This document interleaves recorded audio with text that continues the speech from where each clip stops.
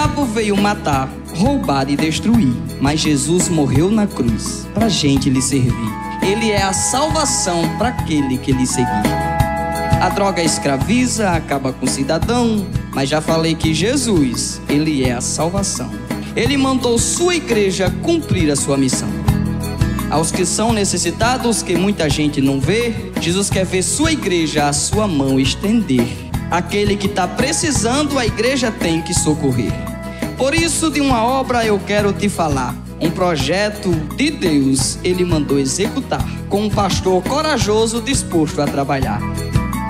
É um lugar onde perdidos buscando a solução vai. Jesus Cristo faz a obra, as algemas do pecado caem. Esse lugar abençoado se chama Casa do Pai.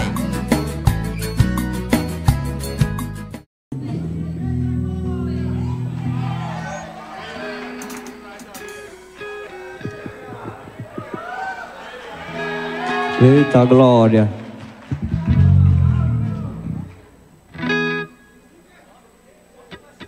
Só tem um jeito pra esse povo, é buscar a Deus. Só tem um jeito pra esse povo, é clamar a Deus. Acorda de madrugada e dobra o seu joelho, dando glórias a Deus. Só tem um jeito pra esse povo, é buscar a Deus. Só tem um jeito pra esse povo, é clamar a Deus. Acorda de madrugada e dobra o seu joelho, dando glórias a Deus. Você vai ver a diferença quando você orar. Você vai ver a diferença quando tu jejumar. Coisas vai acontecer e não dá pra entender. É difícil acreditar. Você vai ver a diferença quando tu jejumar. Você vai ver a diferença quando você orar. Coisas vai acontecer, você mesmo vai dizer. Vale a pena confiar. Só tem um jeito pra esse povo, é buscar a Deus. Só tem um jeito pra esse povo, é amar a Deus. Acordar de madrugada e dobrar o seu joelho, dando glórias a Deus. Só tem um jeito pra esse povo, é buscar a Deus. Só tem um jeito Acordar de madrugada e dobrar o seu joelho, dando glórias a Deus. Você vai ver grandes milagres sim acontecer. Você vai ver realidade quando você crer. Andar nos caminhos certos, você pode ser liberto e a Ele obedecer. Dando glórias a Deus. Só tem um jeito pra esse povo. Só tem um jeito para esse povo. É adorar a Deus. É agradar a Deus. Muito bem, amados queridos, estamos no sábado, dia 9 de novembro de 2024. Pai Glória, Senhor, Pai do Senhor. de amarelo eu te quero. De amarelo, tu já me tens. Ixi, que benção. Eita glória, bom dia, bom dia, povo de Deus. Que esse dia seja abençoado, sábado mais do que abençoado. Mas só tem uma coisa, viu? Só tem um jeito para esse povo. É adorar a Deus e dando glórias a Deus. Acordar de madrugada, dobrar os seus joelhos, dando glórias a Deus. Você já deu glória a Deus José hoje, é, pastor? Glória. Glória, glória, glória. Bom dia, bom dia, viu, meu amor? Bom dia. Bom dia, de Deus. ovelhinhas lindas. Olha que sorriso. É. Seu riso está feliz, E viu? hoje tem o- o- a reunião de casais na É igreja sim. Pão da Vida, reunião de casais. Você dá sede, convide aquele casal amigo, convide aquele descrente para receber a porção que Deus preparou para nós, né, pastor? É, esse tema aí, E esse é um tema finanças, finanças no casamento é um tema Verdade? Tem muitos casamentos aí, muitos lares Você sabe, abalados amor, você nesse... sabe, amor, que a igreja também tem essa função de ensinar os casais a administrar aquilo que Deus tem dado a eles para que façam a coisa da maneira correta para que os casais vivam mais em paz, né? Isso é verdade. E hoje vai ter reunião de casais às 19 horas na Igreja Pão da Vida, na direção do nosso casal líder dos casais, Romero Marinho e Mônica Guerra. E você é nosso convidado especial. Eita glória! Você que está fora de Mossoró, que não vai poder vir presencialmente, acompanhe. Já vá deixando aí um caderninho de lado, uma folha de papel para você anotar os versículos e conferir toda a palavra de Deus. Amém. Vamos falar sobre casais. É? É. Hoje não é, não é o, o a reunião de casais? E olha que ter um companheiro para a vida toda é muito bom, muito especial, né? A vida a dois ela é muito boa quando você vive com quem você ama, porque Deus criou o casamento para ser uma coisa boa. Eu te amo. Eu também. Um relacionamento íntimo de amor é uma ajuda entre duas pessoas que se completam para serem felizes. Os dois se tornam um só. O casal é um só, será uma só carne. A vida nem sempre é fácil para o casal, nem sempre. Todo relacionamento enfrenta dificuldades, mas com a ajuda de Jesus Cristo nós podemos superar, ultrapassar os problemas com amor, perdão, compreensão, oração. É sim. Os dois vão aprender a viver juntos, se tornando cada vez mais unidos e íntimos de Deus. Quando o casal tem Deus, aí tem tudo. É uma maravilha. Vamos ver aqui o que foi que Deus falou em Gênesis capítulo 1, versículo de 26 a 28. Então disse Deus: Façamos o homem a nossa imagem, conforme a nossa semelhança. Domine ele sobre os peixes, domine ele sobre os peixes do mar, sobre as aves do céu, sobre os grandes animais de toda a terra e sobre todos os pequenos animais que se movem rente ao chão. Criou Deus o homem à sua imagem, a imagem de Deus o criou. Homem e mulher os criou. Deus os abençoou, e lhe disse: Sejam férteis e multipliquem-se, encha e subjuguem a terra. Domine sobre os peixes do mar, sobre as aves do céu e sobre todos os animais que se movem pela terra. Você veja a autoridade, Aleluia. a autoridade, amor, que Deus deu para o casal. Deus deu para o casal a autoridade para dominar sobre todas as coisas. Aleluia. Gênesis 2:18. Então o Senhor Deus declarou: Não é bom que o homem esteja só. Farei para ele alguém que auxilie e lhe corresponda. Você é alguém que me auxilie e me corresponde. Amém. Você Gênesis 2, 24. Por essa razão, o homem deixará pai e mãe, se unirá à sua mulher, e eles se tornarão uma só carne. Deus estava unindo um homem e uma mulher, passando por cima de tudo e tornando deles uma só carne. Provérbios 18, 22. Quem encontra uma esposa encontra algo excelente. Recebeu uma bênção do Senhor. Sou uma bênção. Uma bênção. E como é? Aleluia. Que, que bênção. Oh. Mateus 19, 6. Assim eles já não são dois, mas sim um, uma só carne. Jesus confirmando. Portanto, o que Deus uniu, ninguém separe. Meu Deus, essa palavra é forte. O que Deus uniu, Aleluia. ninguém separe. Que bênção, né?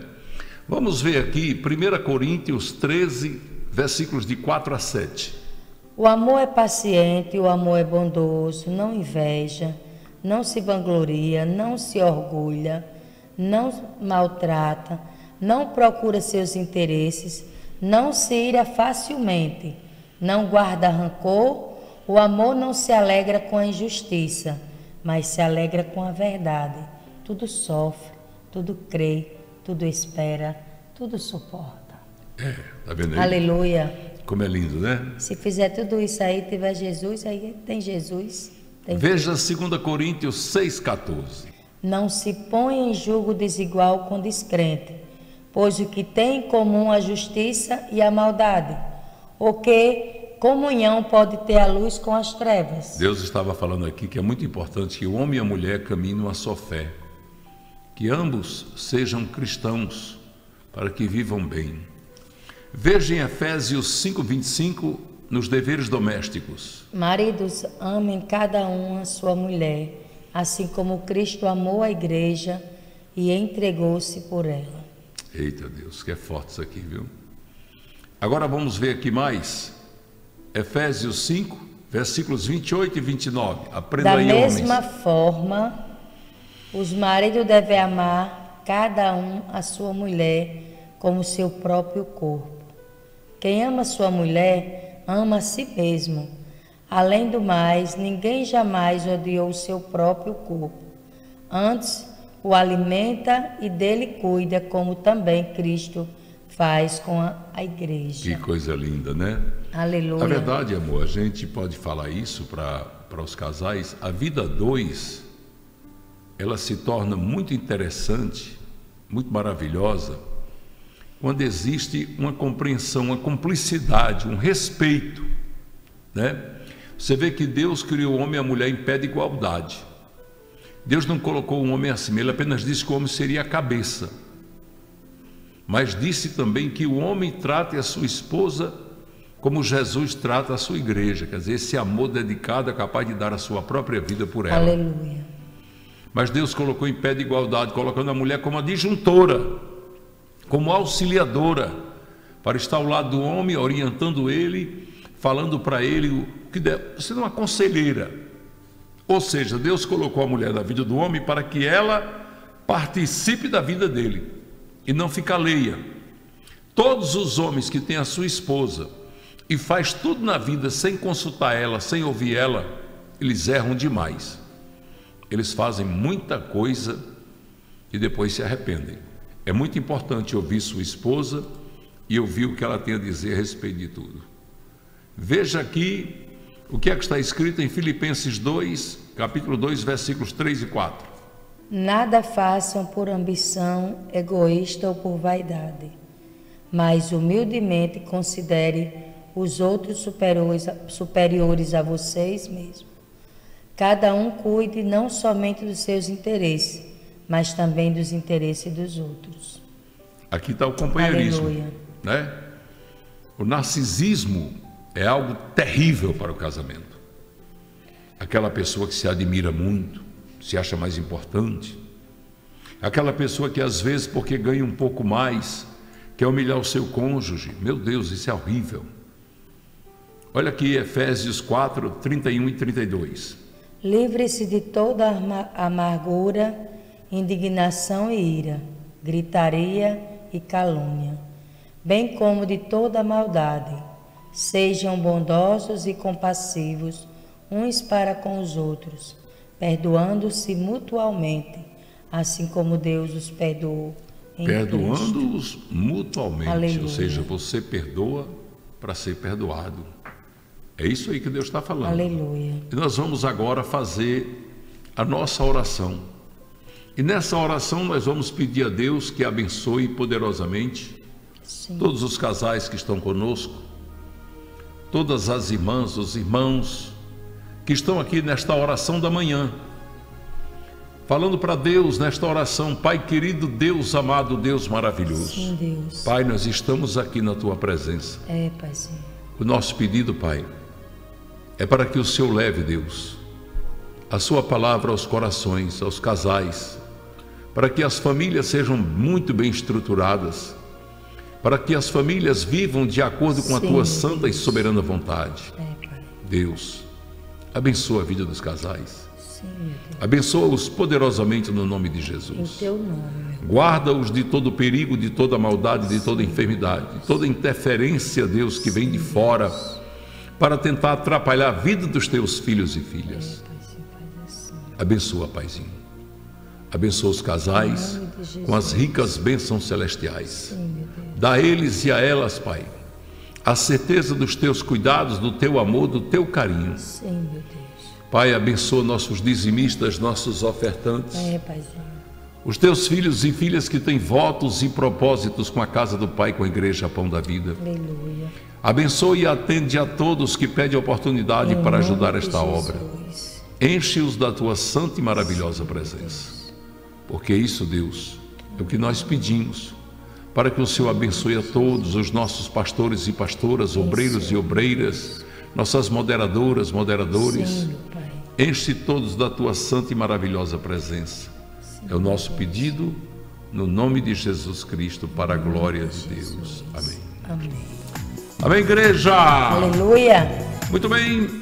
Hoje você já sabe, encontro, reunião de casais na igreja Pão da Vida, às 7 horas da noite, 19 horas, com o tema Finanças no Casamento. Aleluia. Venha participar. Amém? Amém. Um abraço, olha, cheio do Espírito Santo. Inscreva-se aqui no canal, dê o seu like, compartilhe. Daqui a pouco a gente se encontra no culto do lar. Nosso coraçãozinho. Nosso coraçãozinho apaixonado por Jesus e por vocês. Obrigado, na irmãos. paz. Deus abençoe em nome de Jesus. Em nome de Jesus.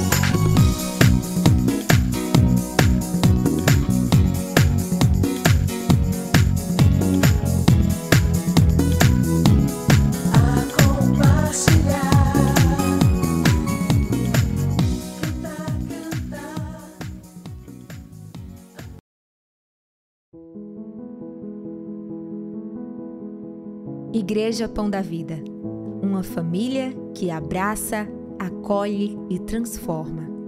Somos uma igreja onde cada pessoa encontra um lar. Aqui, cada encontro é um testemunho do amor de Cristo que nos une e nos fortalece. Um amor que acolhe e se importa, que ouve e apoia.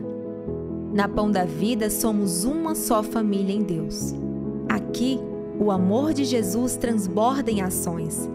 Nesses nove anos, a Igreja Pão da Vida tem estendido a mão a quem precisa, vivendo o Evangelho em atitudes concretas de cuidado e compaixão. São projetos que mudam vidas, seja levando alimentos, roupas ou uma palavra de esperança. Nosso chamado é levar luz para aqueles que estão nas sombras. Esse é o propósito que nos une. Somos a Igreja Família. Crianças, jovens, idosos, cada um tem seu lugar. Uma igreja para todas as gerações, que celebra a vida e a fé em comunhão. Pastoreada por líderes que amam e servem com humildade, cada membro aqui sabe que é parte de algo maior um plano de amor e propósito. Deus tem sido fiel e seguimos firmes, sabendo que Ele proverá. Somos uma igreja que ama, uma igreja que acolhe. Aqui somos família e em cada coração que se une a nós, a promessa de Cristo renasce. Servimos aquele que nunca falha, que supre cada necessidade e que caminha ao nosso lado, guiando cada passo com amor e cuidado. Declaramos muitos anos com fé, esperança e amor, pois sabemos que o Senhor é quem provê. Ele é Jeová Jireh, nosso Deus da provisão.